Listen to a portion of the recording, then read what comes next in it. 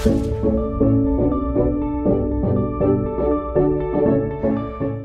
Kabupaten Pesisir Barat, Provinsi Lampung, melaksanakan upacara peringatan Hari Kemerdekaan Republik Indonesia ke-75 di Lapangan Merdeka Labuan Jukung, Kecamatan Pesisir Tengah, Senin pagi. Bupati Pesisir Barat selaku Inspektur Upacara tiba di lapangan upacara.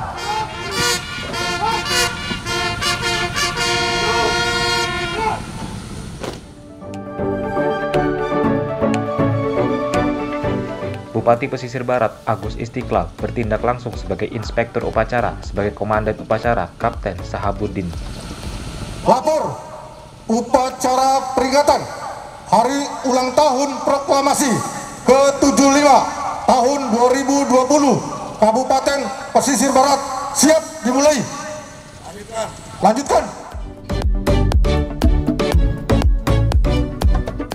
Tepat pukul 7 pagi waktu Indonesia Barat, detik-detik hari kemerdekaan dimulai dengan ditandai bunyi sirene oleh Bupati Pesisir Barat yang langsung dilanjutkan dengan pembacaan teks naskah proklamasi oleh Ketua DPRD Pesisir Barat, Nazrul Arif.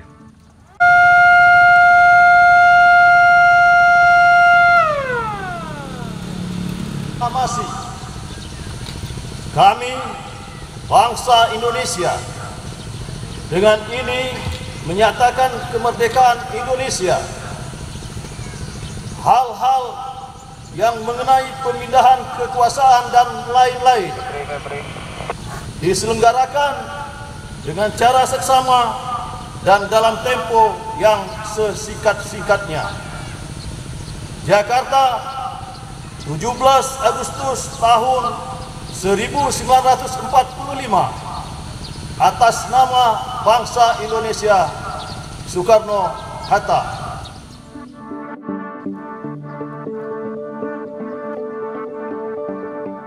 Peringatan HUT Proklamasi Kemerdekaan Republik Indonesia tahun ini mengambil tema Indonesia Maju.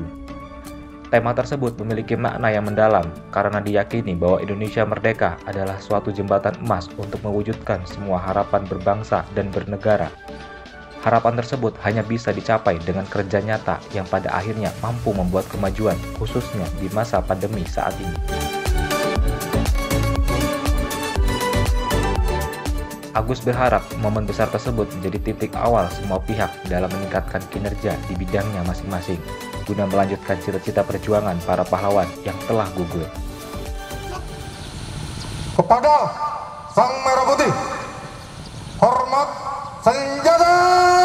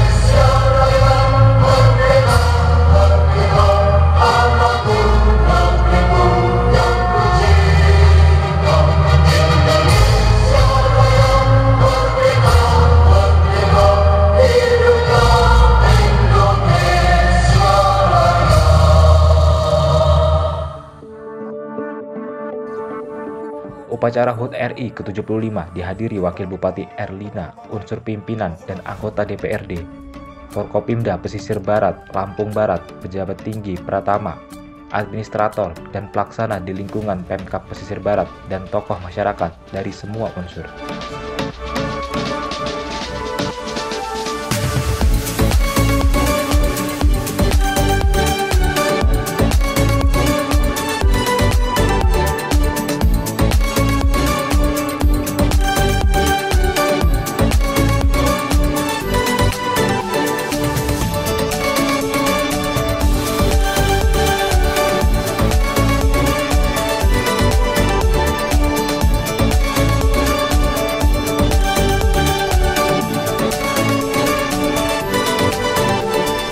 Dari pesisir barat, Novan Erson, Monologis TV.